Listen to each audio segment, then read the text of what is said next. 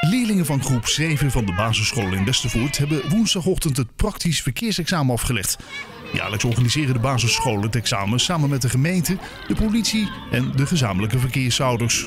Van elke deelnemende school stapte de eerste leerling om 9 uur op de fiets. Burgemeester Arend van Hout gaf bij basisschool De Brug het startsein.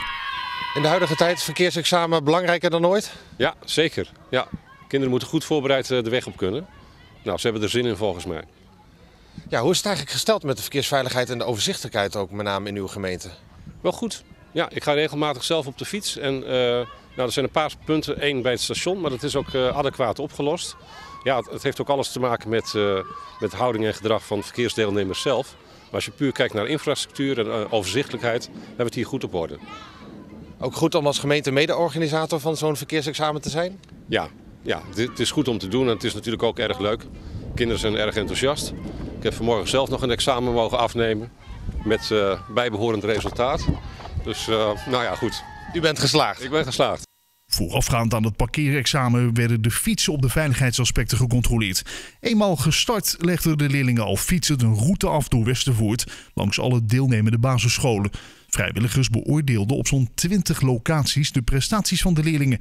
In totaal deden 164 kinderen mee aan het examen. Hoe gaat het tot nu toe? Uh, goed. Ja, uh, het is wel moeilijk. Ja, wat is er moeilijk? Uh, ja, de bordenvolgers zijn een beetje lastig te volgen. Maar gelukkig heb je wel mooi weer. Ja, dat is wel fijn. En ook goed geoefend van tevoren? Ja. Zenuwachtig? Ja, nogal. Nou, heel veel succes nog. Dankjewel. Hoe gaat het? Tot nu toe gaat het eigenlijk heel goed. Het is opvallend uh, dat er, uh, ik weet toevallig van welke school een aantal er zijn, dat één school doet alles goed en één school die hebben blijkbaar dit stukje gemist. Want die gaan op fietsen er allemaal overheen. Dat is wel grappig. Wat zijn nou de punten waar u hier op let? Ik kijk, kijk of dat ze, uh, dat ze de hand uitsteken, of ze van de fiets afstappen en lopen.